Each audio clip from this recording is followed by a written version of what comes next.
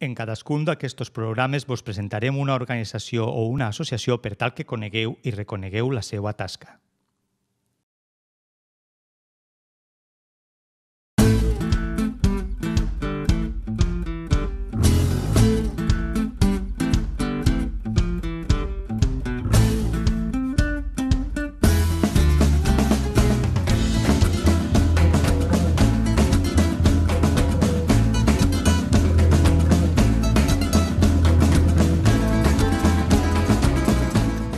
Uno menos en el mar és una campanya de conscienciació i reciclatge en què han participat empreses privades, ONGs mediambientals i agències de promoció comercial.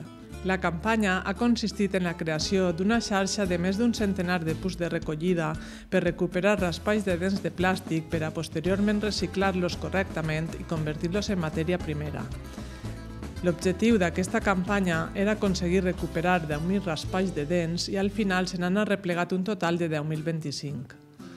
Els raspalls de dents de plàstic, en algunes de les seues parts, es componen de polímers diferents als que s'usen en la fabricació dels envasos plàstics que separem al contenidor groc. Encara que algunes d'aquestes parts siguen tècnicament reciclables per separat, la seva consistència dificulta i encareix enormement la gestió final d'aquest residu i el seu reciclatge, pel que moltes empreses i plantes de reciclatge opten per incinerar directament aquestes deixalles. Bé siga per desconeixement o per falta de cura, un alt percentatge de raspalls de dents de plàstics usats acaben en un contenedor equivocat entorpint el seu correcte processat. Quan es tracta d'un article quotidià i d'ús tan popular com els raspalls dentals, es trobem davant d'un problema d'enorme gravetat. Per això, el millor que podem fer és evitar els raspalls fabricats amb plàstic sempre que en siga possible. Aproximadament 7 milions de tones de residus són llançats o arriben anualment als mars i oceans del nostre planeta. Pneumàtics de cotxes, ampolles de plàstic, llaunes, línies i xarxes de pesca, bolses de plàstic, aplicadors de tampons, burilles de cigarrets, piles, condons i la llista continua. La quantitat de trossos de plàstics que flota a la superfície s'ha incrementat més de 100 vegades en els últims 40 anys. Si voleu més informació sobre aquestes i altres qüestions, podem donar una ullada a la web www.unomenosenelmar.com, on trobareu informació de la campanya i de les organitzacions participants, entre elles la ONG medioambiental Ambiente Europeo, que té una pàgina web molt interessant, ambienteeuropeo.org on podeu trobar informació sobre la contaminació marítima i com podeu contribuir a pal·liar-la.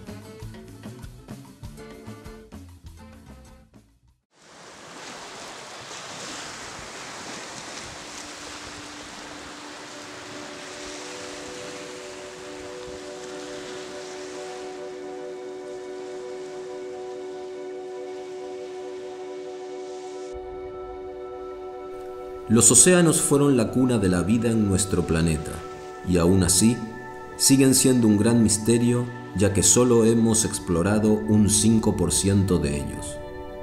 Su biodiversidad es mayor que la de los ecosistemas terrestres. Nos brindan oxígeno, controlan el clima, regulan la temperatura, proveen materias primas y alimento para una creciente población mundial que ya supera los 7 mil millones son fuente de incontables puestos de trabajo y un potente motor del turismo. Impulsan la economía y la prosperidad. Nuestros océanos son el futuro. Sin embargo, como sociedad global tiramos piedras contra nuestro propio tejado, maltratando y destruyendo el sistema que da soporte vital a nuestro planeta. El aumento de la población mundial está poniendo demasiada presión en los ecosistemas marinos, que actualmente se enfrentan a grandes desafíos como la sobrepesca, el cambio climático, la acidificación o la contaminación. La comodidad de nuestra adicción a lo desechable, de un consumo de usar y tirar, hace que 9 millones de toneladas de residuos sólidos lleguen anualmente a nuestros mares. Neumáticos, botellas y vasos de plástico, latas, líneas y redes de pesca, envoltorios y contenedores de comida, bolsas de plástico, colillas de cigarrillos, pilas, hasta 8 millones de objetos llegan al mar cada día. Los residuos provienen de diversas fuentes y viajan por el mar enormes distancias empujados por el viento y las corrientes. Una bolsa de plástico puede recorrer miles y miles de kilómetros durante años.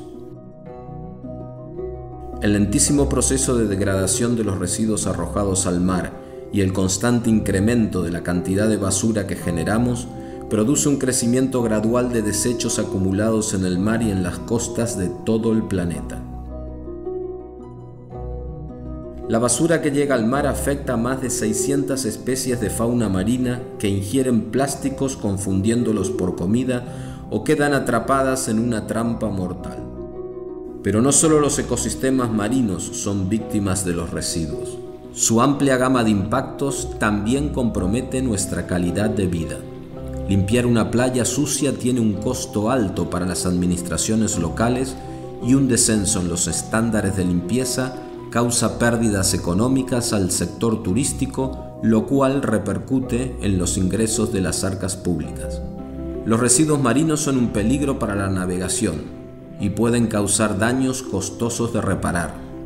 Facilitan la propagación de especies invasivas, minan la industria pesquera y son una amenaza potencial para la provisión de alimentos, para la seguridad personal e incluso para nuestra salud.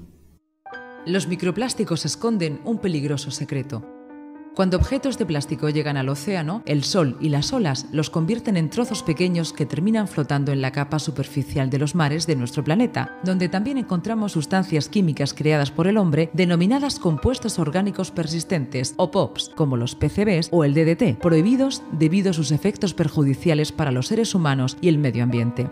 Como los plásticos, tardan mucho tiempo en degradarse.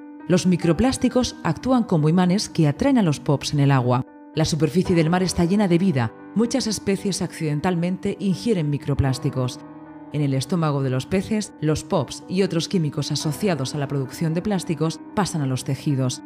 Cuando el pez grande come al pequeño, un proceso llamado bioacumulación transmite esa toxicidad a través de la cadena alimenticia. Para las especies que se encuentran al final de esta, como los seres humanos o delfines, las concentraciones de químicos pueden ser realmente altas y causar severos problemas de salud. A pesar de ser difíciles de cuantificar, Naciones Unidas calcula que el coste económico de los daños causados a los ecosistemas marinos asciende a 12 mil millones de euros por año, costo que alguien siempre termina asumiendo. La creciente marea de residuos marinos claramente muestra la necesidad urgente de una mayor planificación de estrategias locales, regionales, nacionales e internacionales. Debemos reducir al máximo el flujo de residuos que llegan al mar. Afortunadamente, y a pesar del enorme trabajo que aún queda por hacer, la preocupación por este tema está comenzando a tomar fuerza. El número de organizaciones no gubernamentales, empresas, administraciones e iniciativas enfocadas en el problema de las basuras marinas va en aumento.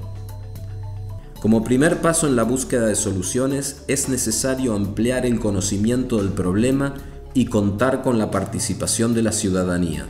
Para ello, diversas organizaciones coordinan acciones de ciencia ciudadana cuyo objetivo se centra en la obtención de información sobre las basuras marinas presentes en costas y fondos de mares y ríos.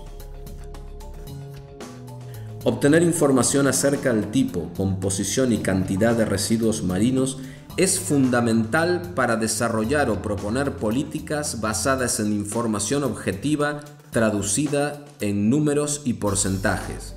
Ayudar a las empresas a ver la necesidad de cambiar o mejorar tecnologías, diseños o materiales empleados y a los consumidores a tomar conciencia de la importancia de reciclar o adoptar comportamientos que favorezcan la reducción de basuras. La información obtenida es también una herramienta útil en la que se basan iniciativas enfocadas en la educación, la divulgación y la concienciación, en la incidencia política, en el trabajo con el sector académico, empresarial, etc.